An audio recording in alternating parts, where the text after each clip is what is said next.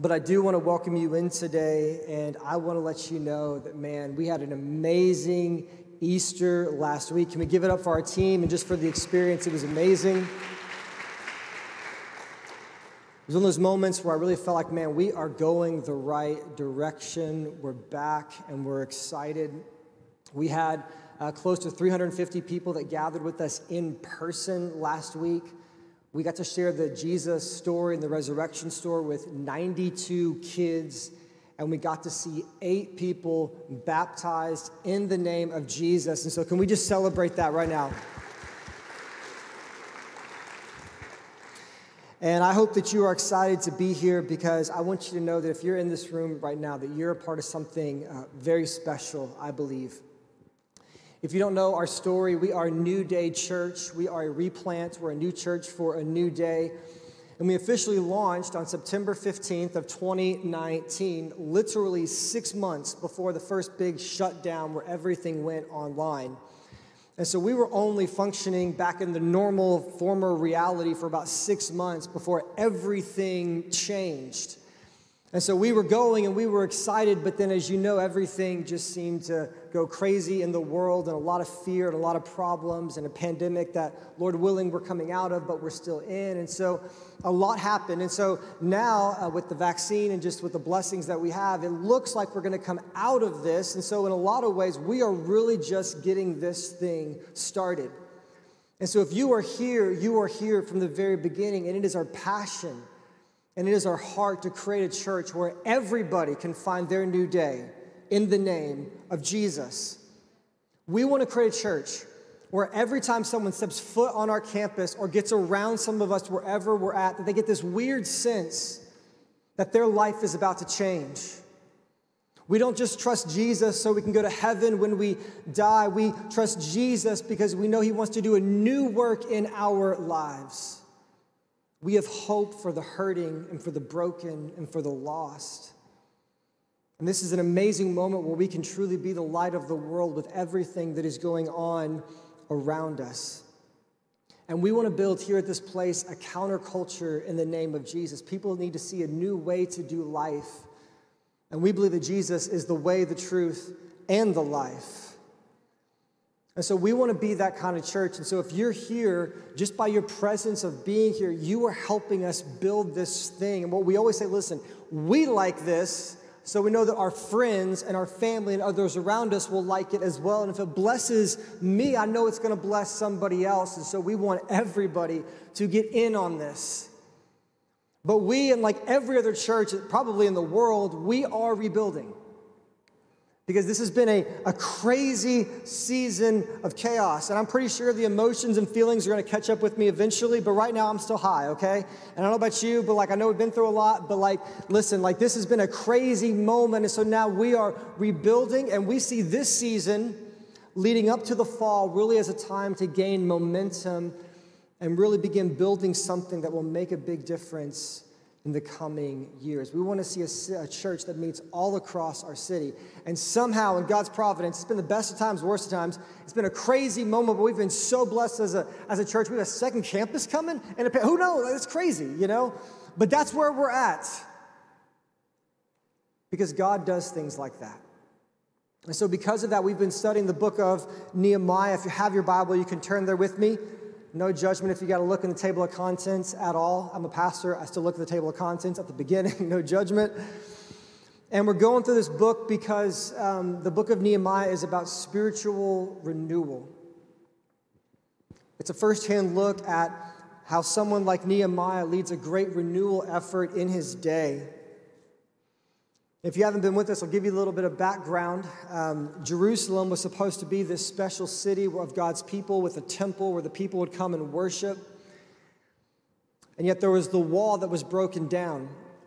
And this is the ancient world, and so if you don't have a wall defending you, you will be destroyed and you will be conquered. And so, if this wall does not get rebuilt around the city, then uh, God's people will be scattered again. The rebuilding effort will not happen, and it will be bad for the people spiritually because they're supposed to be this, this bright city in the world, a city on a hill. But all of God's people are scattered, and, and Nehemiah, one of God's people, is working for a foreign king, the king of Persia. And he gets a report that the wall is broken down and he is devastated because he was hopeful that God's people were rebuilding. And yet, when he finds out the wall is broken down, what that's telling him is it's not going well and things are in trouble. He believes in the glory and the goodness of God, and, and yet this does not represent that. He wants to see God's people gathered and God be glorified because these people reflect God in the world. And so this issue reflects a problem and it reflects a lack of glory that his God is going to get. And so Nehemiah is broken and he lays before the Lord in prayer. And I love this. Nehemiah is, is frustrated and he's broken and he's sad, but he does something about it. Amen? He gets up and he does something. He says, he says I'll go do the, the work, I'll go rebuild. And so not only does Nehemiah ask God to give him favor to go rebuild, but that he would actually be the one to be able to lead the effort. And we saw in Nehemiah chapter 2 that Nehemiah was a man of character. He worked well for the king that he served, and because of that, the king trusted him, and because that, he allowed him to go and rebuild the wall. And so Nehemiah, Nehemiah heads back to rebuild the wall, and we see in chapter 3, Pastor James preached a great sermon a few weeks back about how teamwork makes the dream work. Can I get an amen, right? You need a team. And we saw this beautiful moment where all of God's people come together and everybody has a part and everybody is contributing. Man, that's the kind of culture that we want to create here. Can I say this? If you're here and you're part of New Day, you matter a lot. We need you. This is not a church yet where we've got enough people to where we don't need you. It's all hands on deck right now. It is all hands on deck. You want to serve? I got 10 places to choose from, okay? You matter a lot. And when we come together to work, we can create something amazing. And then two Sundays ago, my really good friend Sergio Garcia uh, from the north side here in Houston came and preached a great message on the opposition as they began to rebuild and actually do a good work. They began to receive opposition from the outside. People were coming against them. People in their culture were coming against them. And he talked about how, listen, when you follow Jesus, things will come against you. People will come against you. There will be challenges. But he encouraged us to press on like Nehemiah did. And yet, what's interesting is that we go from uh, Nehemiah 4, where there's problems from the outside, to Nehemiah chapter 5, which is where we're going to be. Uh, Nehemiah chapter 5, and what we see here is actually problems on the inside. There's problems on the inside amongst the people of God, problems of uh, disunity and injustice and people taking advantage of each other. We see these problems coming from the inside. And he calls the people to reflect God in this world by being a people of both justice and unity to one another. And so I want to preach to you a message today, if you're taking notes, called A People of Justice and Unity. And I know you know this, there's a lot of talk in the world right now of, of justice and division. And man, we just live in a tribalized, polarized culture. It's like everybody gets put into a group, into a tribe, if you will, and then we got to go fight the other tribes, you know, and, and it's just like, oh, oh, you're this, this, and this. Okay, that means you're in this group and you don't like these people. And there's just all this division in the world. There's a lot of talk in the world about, um, about justice, and by talk, I mean arguing and fighting. That's what I mean. not a lot of conversation, not a lot of prayerful discernment, just a lot of people arguing and fighting with one another. And yet, what's interesting about Nehemiah chapter 5 is to preach this in the context of what it really means, because that's my job. My job isn't to get up here and say what I want to say or what you want me to say, but what the text says. This is actually about the people of God loving each other, serving each other, and about God's people being a place of justice and unity. I've reminded myself a lot in this season and other people that I'm a pastor, I'm not a politician. And so, though I care about the world and though I want good for all people, the, the reality is, is that it is my job, my calling to be a pastor over a people of God. That I love you. And that what we want to do here is we want to build a place where we can reflect to the world what it should look like. Right? The world is broken and, and the world wants answers. And we, as the people of God, can be a place that demonstrates what it's supposed to look like and how we really walk together and help each other. So often, the world is not a place of justice, but the church can be a place of justice. So often the world is not a place of unity, but we can be a place of unity. And as the church, as crazy as things are, this enables our light to shine even brighter, church. This is our moment. This is our time. It's not hard to, to convince people the world is broken right now, right? When I was growing up, it was like a time of like tolerance, and it was like, you know, like, oh, just do your thing, I'll do my thing, and who cares? And it was like you had to wake people up to the reality of right and wrong. But it's not like that anymore. People know there's right and wrong. But the question is, is, is how do we actually live out a life of love? And the answer is Jesus Christ. In Christ, we can do this. And especially as the people of God, we cannot allow the world to divide us. We must keep division out of the church. We must love each other, and we must be the light of the world. And so I want to preach a message today called A People of Justice and Unity. And I want to answer the question how do we live as a people of justice and unity in a broken world and culture? And Nehemiah 5 shows us this today. So I'm going to read Nehemiah 5, verses uh, 1 through 14. And I want to invite you to stand up with me at this time as we stand in the honor of the reading of God's word. As always, if you don't have a Bible, it'll be up on the screen behind me. Nehemiah 5, starting in verse 1, it says, Now there arose a great outcry of the people and of their wives against their Jewish brothers. For there were those who said, With our sons and our daughters we are many. So let us grain that we may eat and keep alive. There were also those who said, We are mortgaging our fields, our vineyards, and our houses to get grain because of the famine. And there were those who said, We have borrowed money for the king's tax on our field and our vineyards. Now our flesh is as the flesh of our brothers, our children are as their children. Yet we are forcing our sons and our daughters to be slaves. And some of our daughters have already been enslaved, but it is not in our power to help it for other men have our fields and our vineyards. I was very angry when I heard their outcry in these words. I took counsel with myself, Nehemiah says, and I brought charges against the nobles and the officials, and I said to them, You are exacting interest, each from his brother. And I held a great assembly against them and said to them, We, as far as we are able, have bought back our Jewish brothers who have been sold to the nations. But you even sell your brothers that they may be sold to us. They were silent and could not find a word to say. So I said, The thing that you are doing is not good. Ought you not walk in the fear of our God to prevent the taunts of the nations of our enemies? Moreover, I and my brothers and my servants are lending them money and grain. Let us abandon this exacting of interest.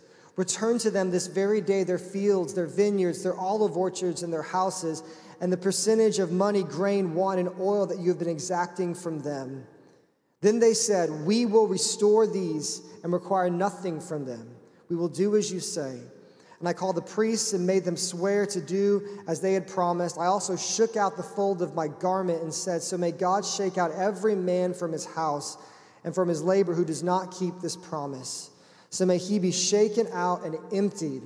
And all the assembly said, Amen, and praised the Lord. And they did, and the people did as they promised. May God bless the reading of his word. You can be seated.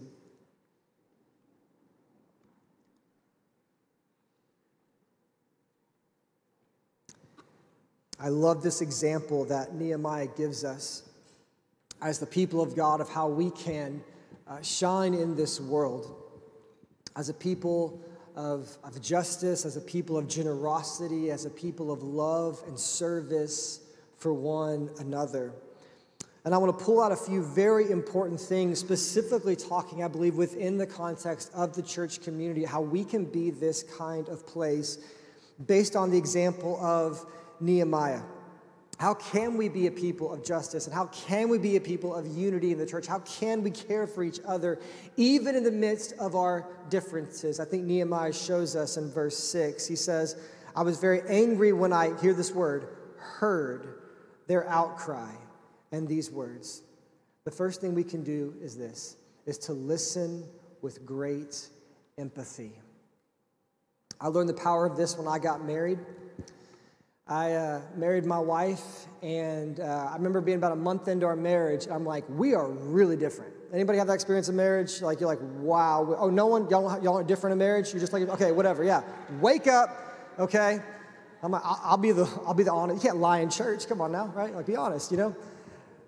But we're like so different, you know. And uh, it's funny. I remember there was a season where we were trying to like trying we were doing a lot of talking and not a lot of listening and trying to tell each other what we needed. And they say in marriage, I saw a study once or something where they said, like, statistically, it's like the first seven years of marriage uh, you spend trying to make the person the person that you want them to be. I'm sure this includes dating too, right? So you're like, okay, I know you are who you are, but I'm gonna make you who I need you to be, and I'm gonna be able to make that happen, right? That's kind of the plan, right? And they say that years 7 to 14 tend to be happier years because you learn to just kind of embrace your spouse for who they are, not like in bad or sinful ways or things like that, right? But just in like their personality, that they're different than you. Like Halsey is the sweetest thing in the world. She, I call her sunshine personified, you know? And I would like to think I'm a nice guy, but I am not sunshine personified. That is not who I am, right? We are different, right? And the reality is, is that whenever you come into the church, you're going to come across people that are very different. And what I've always thought is really cool about Christianity, and I mean this, right? Like, I think Christianity might be the, the one place where, where truly diverse people really do all serve the same God. A lot of religions, even a lot of like nations, tend to be specific often to a kind of group of people, right? Maybe there's like a majority and then there's other minorities, but like really Christianity is a truly global thing. I remember when I was in, I went to Waltrip High School, and uh, we had this, this Christian student union, and uh, we would go on like it's like Tuesday mornings or something. And I remember when I showed up there, um, it was an amazing experience because, like, you know, Waltrip High School had like 1,800 students. And I showed up to the Christian Student Union so you can see, like, the, the spiritual strength of our school. And we had like 13 people there, like 1,800 kids. like 13 of us rolling in, right? Um, but we rolled in. But the coolest thing about it was we were all so different, right? Like the, the whole school was so divided in different ways. You typically hung out with people like you. But the Christian, I remember there was this one guy, he was like from Brazil, this really long, cool, like curly black hair. It's like a soccer player from like Brazil. There was like this, like, you know, this Hispanic girl, and she was like, like the, the valedictorian of her class, you know. There was this like, you know, other guy was like a bookworm type of person, but we were just this really diverse group of people with like nothing in common except Jesus. But here's what I want to tell you that was more than enough. We had amazing relationships. We, we walked together. We encouraged each other. And it was one of the most diverse experiences I've ever had in my entire life. And yet it was only possible in the name of Jesus. And what's happening in Nehemiah chapter 5, verses 1 through 5, I want to explain this for you. There's an outcry. We see in verse 1, there arose a great outcry. And let me explain what's happening. So all of God's people have come back together and they're all working hard together to rebuild the temple. Once again, we all matter, we all have a role to play, so they're working together to rebuild the temple. Yet there's a problem because the people that are of poorer or lesser means in the community, because they're so focused on rebuilding the wall of Jerusalem, they're not able to work as much, they can't pay their bills, they can't get food, to the point where, where even literally some of them are having to put their kids into what's called like slave debt where you would basically be someone's slave for a while to pay back a debt that you owed somebody. And so, if you had more money or if you had more means, right, then you could be okay with focusing on rebuilding the wall, maybe losing a little bit of money because you had a cushion. But for those of lesser means or like paycheck to paycheck, they're like, we're hurting here. Yet, the great problem that happens is in the midst of this problem, those who do have more means and more money, they, they begin, uh, quote unquote, helping those of lesser means, but by lending them money to pay off their debts, but with interest.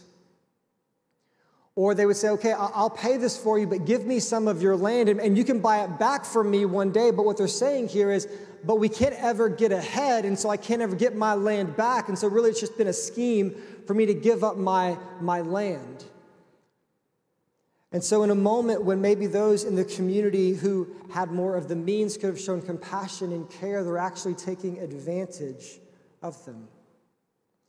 And yet, I love what Nehemiah does in verse 6. It says that he hears their outcries. And, and the reason why this is so important is because Nehemiah was not like them. Nehemiah was more well off. Nehemiah had more money. He was a respected person. He came from the king's court. He was of a higher socioeconomic class, and yet Nehemiah was not one of the people who was charging interest for people. Nehemiah was helping people out. And so I say that because Nehemiah didn't really relate on that level with them, but he took time to listen to them with empathy and he began to legitimately feel their pain and to care for them. Any uh, grill people out here? People like to grill. Summer's coming. Where my grill masters at? Okay, yeah, we got a lot of grillers. You know, invite me over. I want to come over, right? I'm not a grill master, but I do know how to grill a little bit. I actually got a new grill coming for the summer. I've been keeping it in my garage, keeping it all nice. I'm about to roll that bad boy out, grill me some stuff pretty quick. And uh, I'm, by, I'm by no means a grill master, but I, I got two, two go tos that I can do. I can do two things. I can't grill a lot, but you want a hot dog or you want some grilled chicken, I got you, okay? And my family loves when I make hot dogs because whenever I make hot dogs, or, or I like making hot dogs because like if you grill hot dogs, it's like super easy, right? Like I throw it on the grill and like seven minutes they're done and delicious and the bun's already made. And so my family is like, oh, it's amazing and it's so easy to make, right? But my favorite thing to make is actually grilled chicken, right? And I love to marinate it because for so long I would make grilled chicken and it wouldn't taste very good. It tasted nasty, right? It tasted tough, you know? And true story, I just didn't grow up grilling or cooking or anything, so I didn't know you have to like marinate the meat, right? Like the separation is in the preparation. Okay, that's where it's at, right? But it's different, right? Because whenever you marinate something, this is where I'm really bad. Like you've got to like plan it out, right? So if I'm going to eat food at like six o'clock, right, I got to start marinating it at like four o'clock. But you marinate it, right? And when you marinate, you let the juices seep in. It's a it's a process, and it takes time, and it takes preparation. And when you try to understand somebody different than you, there, there's, a, there's a marination process that has to happen. When I talk to someone that has some of my background or where I'm from or in, in my socioeconomic class or whatever it is, I relate a lot more. I can hear them talk and I kind of get it, right? But in the church, when you get around people that are different from you or different backgrounds, maybe they were raised and their family was of this political party or your family was of this political party or whatever that background is, it takes time to understand somebody. It's not an overnight process. And when you look out in the world, you know what you see? You see a lot of people talking at each other. You don't see a lot of listening or attempting to understand one another. Hear this verse in Proverb 18, verse 2. I think we all need this. A fool takes no pleasure in understanding, but only in expressing his opinion. You see, when we talk about listening to other people, it doesn't mean that we have to affirm things that are wrong. It doesn't mean anything like that. Like, like listening is not about compromising any conviction that you might have. I think we're afraid if we listen that we're going to have to agree with somebody, but, but I'm just talking about listening here. James chapter 1 says it this way Let every person be quick to listen, slow to speak, slow to anger. And isn't social media the opposite of that, right? Slow to listen, fast to speak, fast to anger. But, church, may we be different. See, Jesus is God, wasn't like us, but he came into the world, took on flesh, came into the world, bore our sins. He walked among us, he, he felt our pain. He lived on this earth for a total of literally 33 years. He marinated in the human experience in its fullness. And Jesus came into the world to love us and to know us and ultimately to save us. And so, the most important thing I think that we can do to be a people of, of unity and to help people in need and to understand where they're coming from is we have to commit to listen, if you're different than me, I'm going to take time to listen to you. I want to know. I want to understand. And I know that I don't know. And this goes for all of us. We move on to Nehemiah chapter 5, starting in verse 7. Nehemiah says, I took counsel with myself and I brought charges against the nobles and the officials, and I said to them, You are exacting interest, each from his brother. And I held a great assembly against them and said to them, We, as far as we are able, have bought back our Jewish brothers who have been sold to the nations. But you even sell your brothers who have been sold to the nations, that they may be sold to us.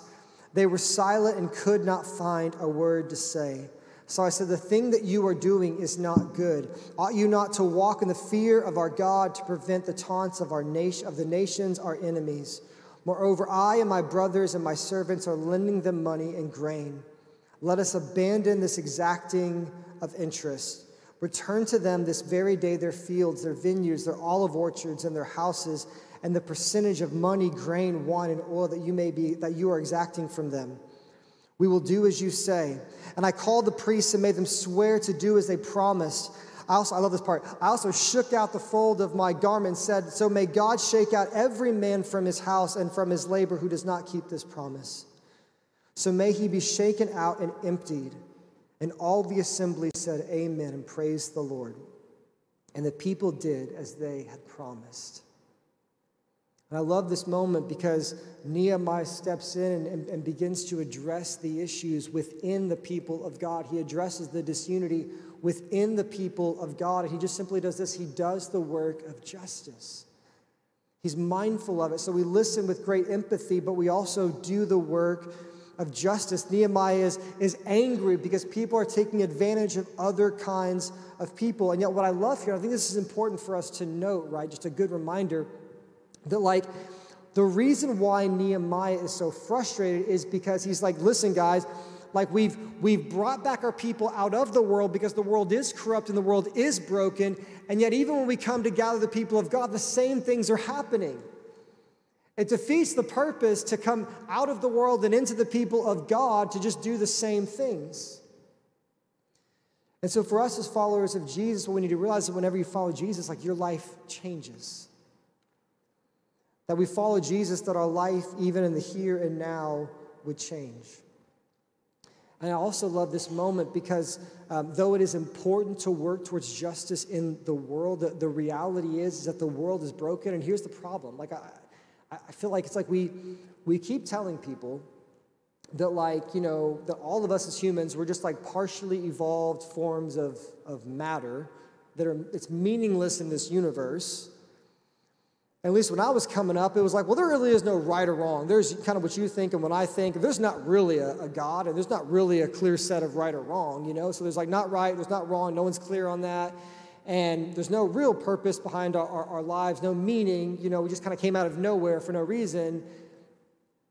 And then we think out of that culture that we're going to create a place of justice and care for all people. See, the world is so broken, the, the world is so divided because what they so often don't understand is that worldviews have consequences. And even for me, when I was going through my, like, like growing up and really thinking about my faith and making it my own, am I really going to be a Christian or am I just going to be more secular? Like, this was one of the things for me that really always drove me back to Jesus. Any moment when I was ever tempted to wander, because I was like, okay, listen, if I were to walk away from Jesus and believe something else, I'm going to live a coherent life. So if I'm going to believe secular things, I'm, I'm, I'm going to live a secular life, and I'm not going to just like pretend like there's right and wrong if you tell me there's no right and wrong. And I'm okay with loving people and serving people, but, but I want a worldview that, that supports that.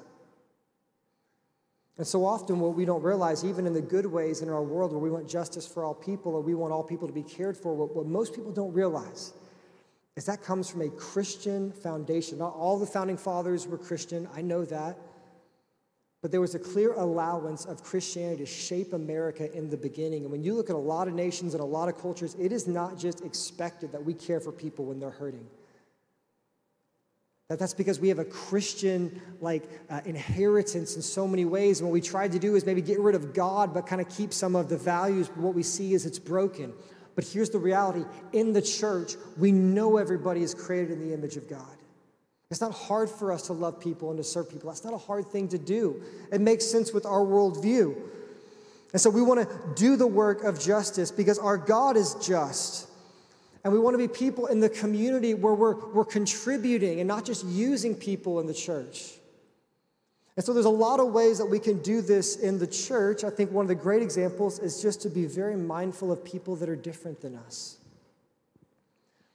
I love how patient like Nehemiah is. I mean, these people come, it's like an outcry, it says. They didn't come with the right words, they didn't say it the right way. They might have misspoke or something, and yet Nehemiah listens. He, he's like, okay, listen, I love you, and you're hurting, you're in pain, you're frustrated. Like, I care. And so in this moment, Nehemiah leans in, and I love it. I mean, he, he makes it right. he's like, man, give them their land back, quit, quit doing interest. Love your brothers and your sisters. And so, as a church and as a community, may, may we be a place that loves everybody. And I want to honor you, New Day, because listen, I know it's been a crazy season, but I think in a lot of ways, like, I mean, I think you guys have been very, very faithful and very patient through all this chaos. You guys are a reasonable people, and I see you week in and week out being so generous to so many different kinds of people. And we don't publicize this a lot because, you know, listen, if you have a need and you come to us, we're not going to like, you know, usually put you on social media or something, but like, as a church community, like when, when we give together, when, we contribute financially or any other way, I mean, we, in this church, man, we help people all of the time. We pay bills, we pay um, mortgages. When people when people lose their job, there'll be moments they just get a check from the church, right? We just like send it out there. They don't even ask for it. We just know they're in hard times. When we hear that someone's hurting, when we hear that somebody is in need, I'm telling you, like we as a church are so generous to so many different people. And we know that when someone falls in hard times, we want to be there for them. One of the great blessings that we had recently was we opened up as a, a warming center during the historic winter storm. Because, you know, even like nature's in chaos right now in the world. And so we have like the worst flood we've ever had, and a hurricane just a few years back, and now the, the winter storm of 2021. And as a church, we realize, listen, we have a building and we have heat and we have plumbing. And so we have something other people don't. They're literally freezing. And so we opened up as a warming center. And over 30 different people literally came and sought refuge here. And we had people from the church like bringing food and bringing all kinds of stuff. And we were stocked up here. We were telling people, listen, they're like, well, I don't know if I can come. I don't have food. I don't have whatever. I don't have linens or whatever. Like, no, just come and we'll get you everything that you need.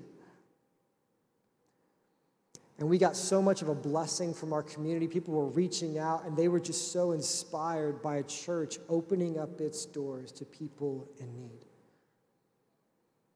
Another way that we want to be a, a church of, of, justice is we love helping churches of maybe lesser means. And so there's churches that we partner with that are maybe in areas that are, it's harder financially to support a church. And we, as a church, when you give, we directly serve and give in this way. Another way that we can be a, a church of, that loves one another is that we all commit to serve together, right? That, that any given Sunday, man, we've got so many people that are serving and using their gifts and abilities. Right now, our kids are learning about Jesus and not being bored by my sermon because we have people that are with them right now and they're not able to be in here right now and worship with us because they're serving. And we want to make sure that burden doesn't fall too heavy on certain kinds of people because it can, because we don't require anything. But we want to do the work of justice. We want to do the work of loving people and helping people in their needs. And yet, what I love about this story is it's not just about justice, but it even goes a wonderful step further. I'm going to finish with verses 14 through 19. I love this. Nehemiah says, Moreover, from the time I was appointed to be their governor, so Nehemiah becomes the governor, he's given an official position in the land of Judah from the 20th year to the 32nd year of Artaxerxes the king, 12 years, neither I nor my brothers ate the food allowance of the governor. The former governors who were before me laid heavy burdens on the people and took from them their daily ration, 40 shekels of silver. Even their servants lorded it over the people, but I did not do so. Why? Because of the fear of God. I also persevered in the work on the wall, and we acquired no land, and all my servants were gathered there for work. Moreover, there were at my table 150 men, Jews and officials, besides those who came to us from the nations that were around us. Now that was prepared at my expense for each day, and was one ox and six choice sheep and birds, and every 10 days all kinds of wine in abundance. Yet for all this I did not demand the food allowance of the governor, because the service was too heavy on this people. Remember for my good, oh my God, all that I have done for this people. And I love this because what Nehemiah shows us is that we actually exceed justice and radical generosity. That should mark the people of God. The guy's justice is just a baseline. justice is just fairness. That's just like being up to par. That's not even the ultimate standard. That we're called to radical generosity. Like, what if we were always giving to one another all of the time? Just how, what can I do? How can I help? Like, what if when people walked in, like, man, they're always trying to help me? What if with a church could really be that kind of a community? The world doesn't operate that way. Everyone's afraid of losing their stuff in the world. I love how in verse 14 he says, moreover, meaning like exceedingly. There's justice, yes, but that's a baseline. And, and, right here, there was this thing you see in the text called the governor's allowance. And so, what that meant was that in this time, what the governor was allowed to do legally was raise taxes so that he could have more things and eat more food. It was an honor culture. And so, if you, it was like, you know, if you're the governor, you should be rich and you should be taken care of. And yet he says that the former governors lorded it over the people and raised the taxes. And yet he says, when I became the governor, I did not do that, but instead I opened up my table to 150 men. That the position that he gets, he stewards for the good of people of less means. And he tells us why because he fears God. See, in Nehemiah chapter 1, whenever you go back, what, what Nehemiah does whenever he wants to begin rebuilding the wall, he prays for success. He goes to God, he lays before the Lord and says, God, I know if you don't bless this effort, I know it's not going to work. He goes, I know everything comes from you, God.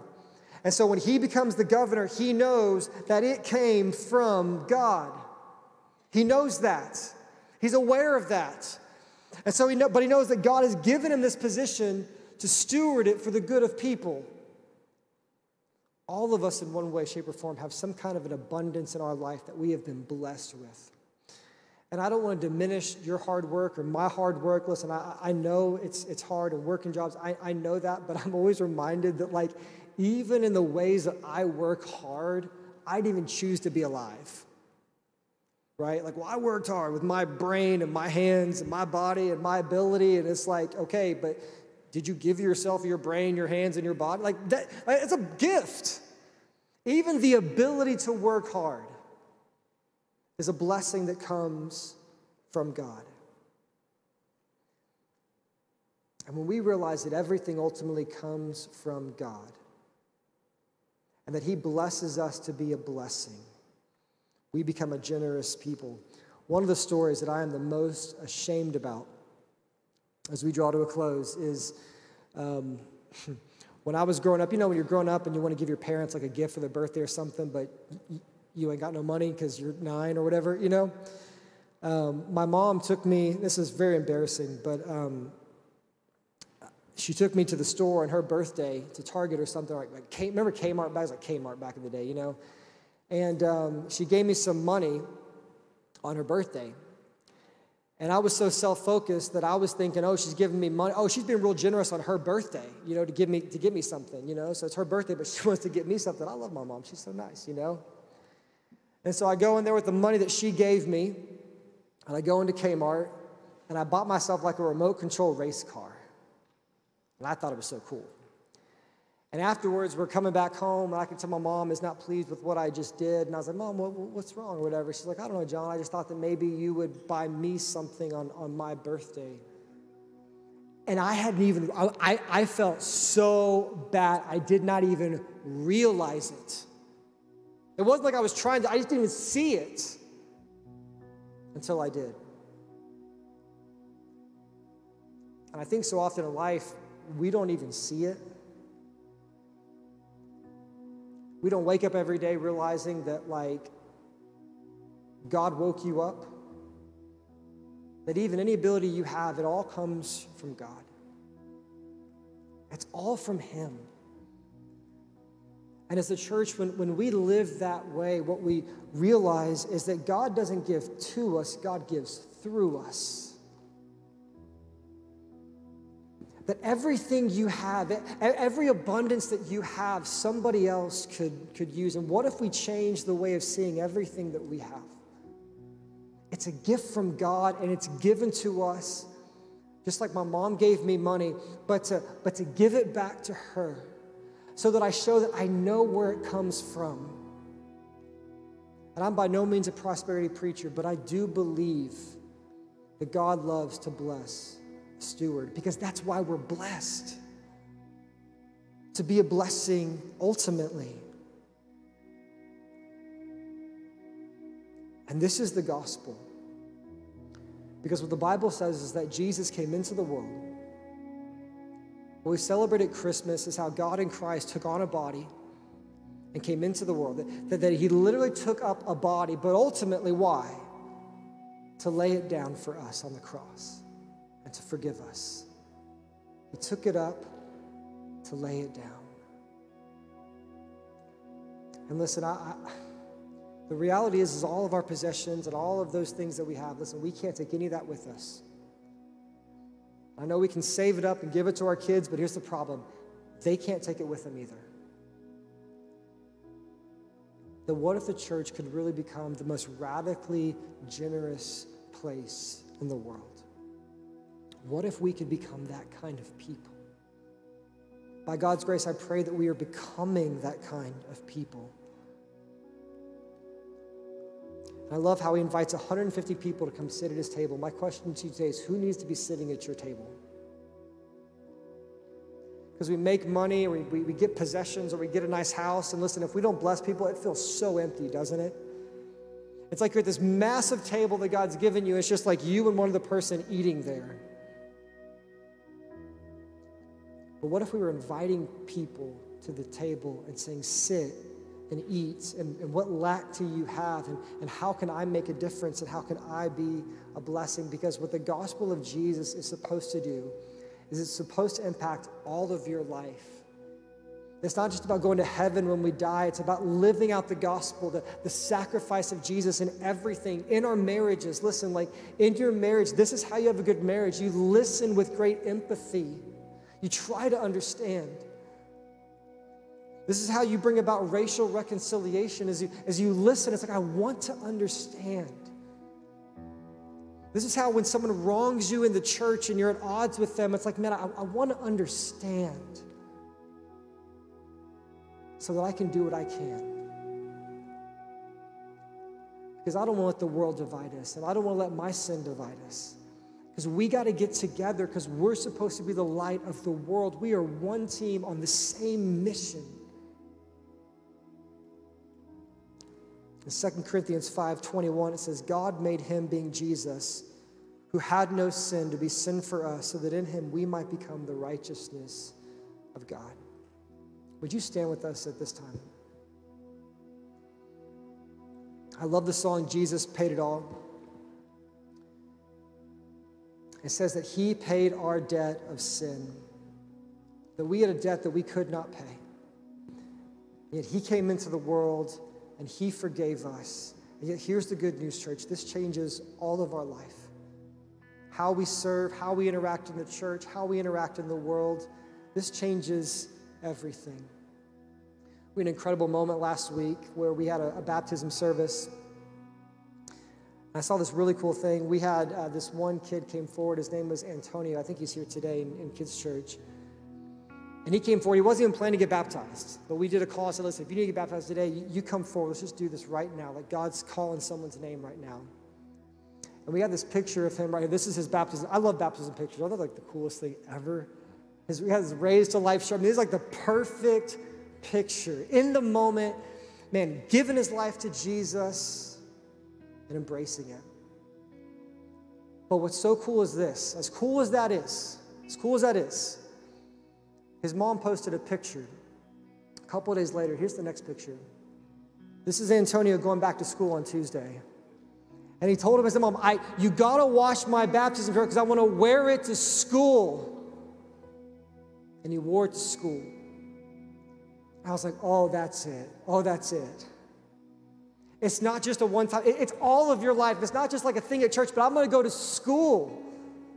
I'm raised to life, and my school needs to know that as well. It impacts all of your life. And in the same way, the gospel of Jesus impacts everything that we do how we love each other, how we give generously, how we bear with one another, even in difficult moments. It impacts everything.